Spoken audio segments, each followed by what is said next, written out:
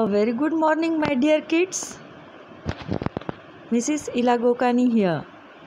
Welcome back in today's online class at Tata Camp DAV Public School Mithapur बच्चों आज हम सीखेंगे आपकी जो नोटबुक है ना डबल लाइन नोटबुक उसमें हिंदी कैसे लिखना है है ना? मैं आपको यहाँ लिखा हुआ एक पेज दिखाकर बताती हूँ। आपको हिंदी के फ़ॉन्ट किस तरह से लिखना है है ना? वो दिखाऊँगी, आपको जो मैं वर्क दे रही हूँ, वो नोटबुक में इस तरह से लिखना है। ठीक है? तो आइए, दिखाती हूँ। ये रहा। देखिए, ये मैंने पूरी वर्णमाला लिखी है। उसमें इस पेज में मैंने स्वर लिखे हैं। देखा आपने? बिल्कुल इसी तरह आपको लिखना है। कौन सी लाइन में कैसे लिखना है? बिटवीन टू लाइंस आपका लेटर होना चाहिए। ये सारी चीज़ें ध्यान में रखकर फिर से लिखना है, ठीक है? अब मैं व्यंजन वाला पेज दिखा रही हूँ। ये देखिए, ये व्यंजन लिखा हुआ है, ठीक है? आ गया समझ में? तो फटाफट इसी तरह आपको अपनी नोटबुक में कॉपी कर लेना है ये दोनों पेज। ठीक है? ये मान लो आज का आपका होम असाइनमेंट है। ठीक है? गुड। अब इसके बाद बच्चों, हमने आ मात्रा सीख ली, पर थोड़ी सी और प्रैक्टिस करने की ज़रूरत है, इसलिए मैं आ मात्रा के वर्ड्स का अभ्यास करवाती हूँ, ठीक है?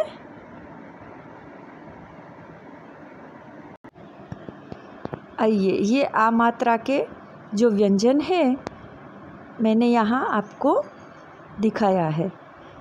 उसको एक बार फटाफट रीड कर लीजिए। है ना? ये है काखा गाघा से लेकर सरा तक ठीक है, हमने सीख लिया है, पर एक बार प्रैक्टिस करने के लिए मैं ये फिर से आपको दे रही हूँ। ठीक है?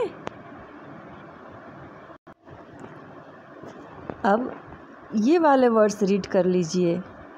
चलो मैं रीड करती हूँ, आप मेरे पीछे पीछे दोहराइएगा। रेडी गुड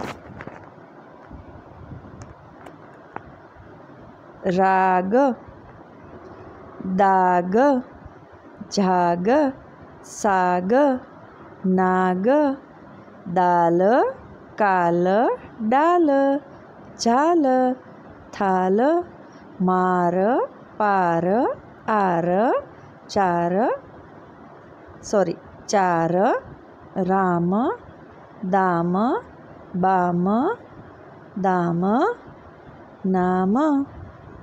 कान, दान, मान, आन, दान। हो गया? अब आ मात्रा बिल्कुल बराबर से समझ में आ गई? गुड। तो ये पेज भी आपको अपनी हिंदी सी डब्ल्यू नोटबुक में लिखना है ये वर्ड्स ऐसे बीच में है ना, इस तरह से पहले लाइन बनानी है है ना? ऐसे स्ट्रेट पेंसिल और स्केल से।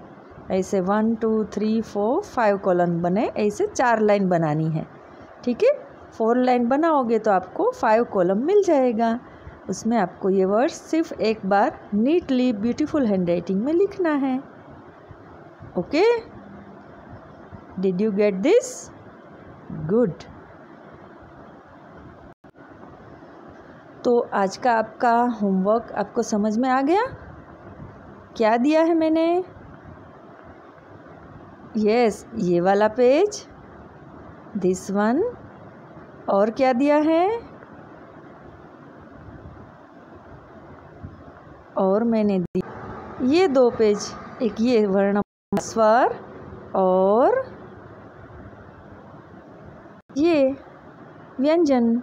बस ये तीन पेज आपको अपनी हिंदी सी डब्ल्यू नोटबुक में लिखना है। हाँ भूलना मत। यहाँ top the top of the page left corner में लिखना है date one six zero seven twenty twenty ये तीनों पेज में लिखना है। ठीक है बच्चों? जो होम असाइनमेंट करोगे आप, उसमें तीन पेज मैंने दिए हैं। तीनों पेज में आपको ये डेट लिखनी है। वो तो हैबिट ही डालनी है आपको।